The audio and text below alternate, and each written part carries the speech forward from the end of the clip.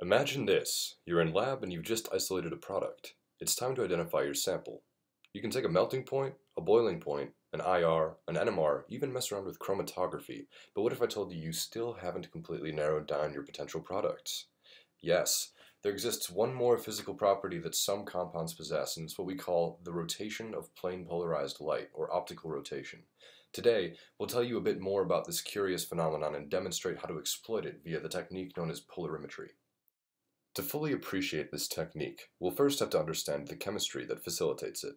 A chemical species rotates light depending on the arrangement of its atoms, so its stereochemistry is at play. When a compound contains a stereogenic center and its mirror image is non-superimposable, we call the pair enantiomers, from the Greek enantios meaning opposite. It is this key stereochemical distinction that dictates the differing interactions with light. It is also why enantiomers are said to be optically active and are occasionally referred to as optical isomers. Depending on how its groups are arranged, an enantiomer can rotate light clockwise or counterclockwise from the viewpoint of the observer. If clockwise, the enantiomer is said to be dextrorotatory.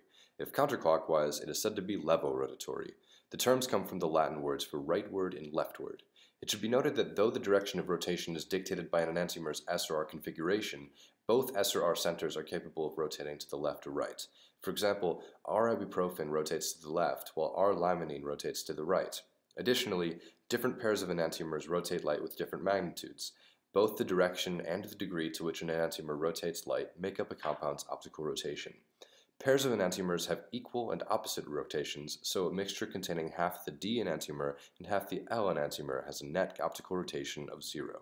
This is known as a racemic mixture or a racemate.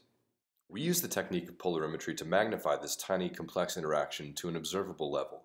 Without this chemical fingerprint, enantiomers would be indistinguishable from one another. Between a pair of enantiomers, every one of their physical properties is identical. They have the same melting point, boiling point, solubility, except for optical rotation. When synthesizing stereogenic species in lab, polarimetry is crucial for a thorough analysis of the final product. And now, a demonstration of the technique. First, the sample of interest is dissolved in an appropriate solvent. For this video, about 2 grams of sucrose was dissolved in 40 milliliters of water.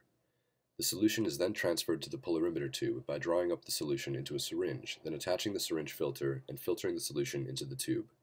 The filter helps to ensure the purest sample is analyzed. When filling the polarimeter tube with solution, it is helpful to fill to the brim. If there is no access to a syringe, a pipette can also be used. When closing the tube, the excess solution's meniscus will ensure there are no air bubbles present when it is placed in the polarimeter. This is important as bubbles interfere with readings. The cover glass is slid over the top of the tube and the cap is screwed on, effectively sealing the tube. A quick inversion is performed to check for bubbles. If there are bubbles, then the previous filling step is repeated until the tube contains only solution. Before placing the tube into the polarimeter, the exterior surface is dried. Also before placement, it is helpful to wipe down both the tube and the lenses of the polarimeter with Kim-wipes to remove any fingerprints or particles that may obstruct the reading. Shown here are a couple different types of polarimeters you may encounter. Once the polarimeter is loaded, be sure to close the sheath surrounding the tube. This prevents noisy background light from skewing the reading. Here's what it looks like to view the vernier scale on a typical polarimeter. As you can see, the scale is set to zero and then can be rotated freely in either direction, clockwise or counterclockwise.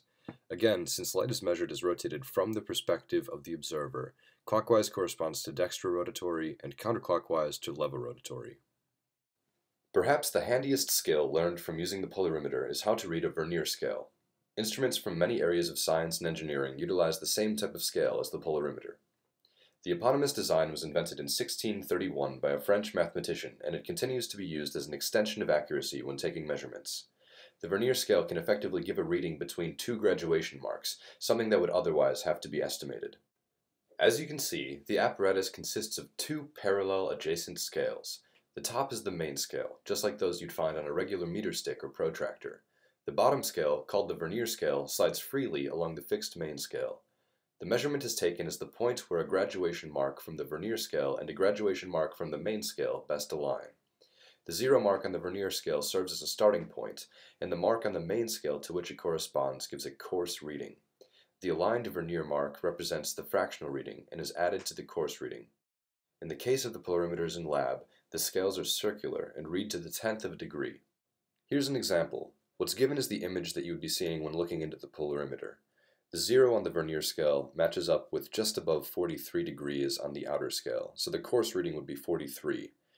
The graduation mark on the vernier scale that matches up best with the outer scale looks to be the seventh graduation mark, indicating a 0.7 addition. So the answer would be 43.7 degrees.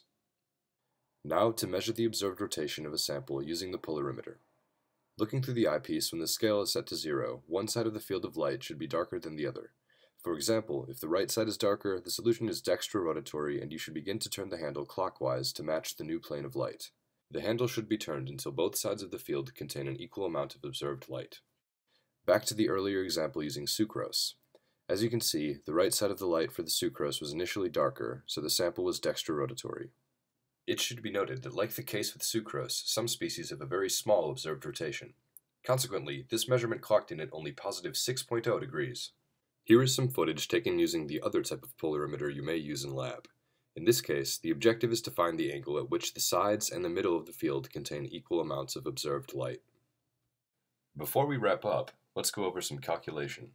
Using both polarimeters, several measurements were taken and used to define an average observed rotation for the sucrose sample.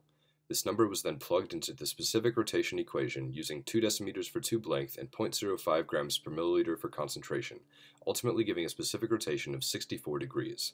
The literature value for sucrose is 66.37 degrees when using yellow light at a temperature of 20 degrees Celsius.